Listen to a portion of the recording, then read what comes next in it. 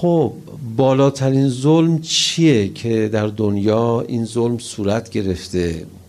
ماها ماها هممون کتک خورده این ظلمیم. دردناکترین ظلم چیه؟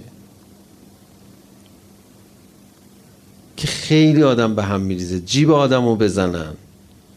نمی‌دونم آدم رو خونه خراب بکنن.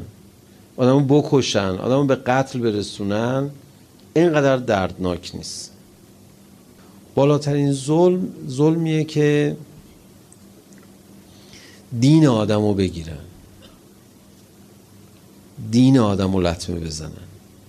اینو به خاطر خدا نمیگم. اینو به خاطر قیامت نمیگم. اینو به خاطر ایمانمون نمیگم. اینو به خاطر دینمون نمیگم.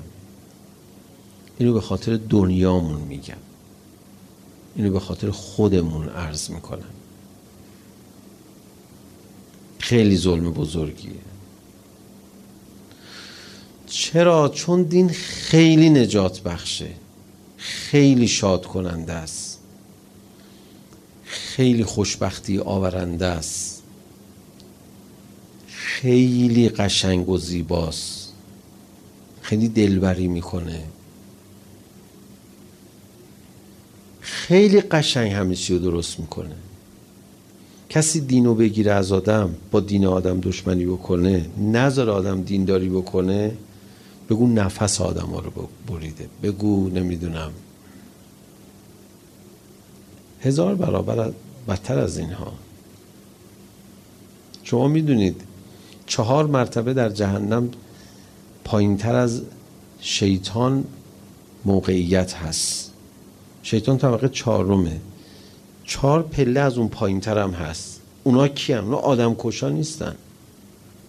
دزدا نیستن. اونا کسانی هستن که دین مردم رو خراب کردن. دین مردم رو به بازی گرفتن تحریف دین کردن. نه اینکه حالا یه مسئله فقهی رو خراب کردن. نه اینکه مثلا آدم به ظاهر دینداری یه بیدینی کرده چهار نفر بیدین شدن. نه منظورم اینا نیستن. به طور مشخص شما دیگه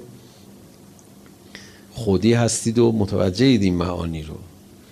اونایی که با اصل اصل دین در افتادن با ولایت در افتادن.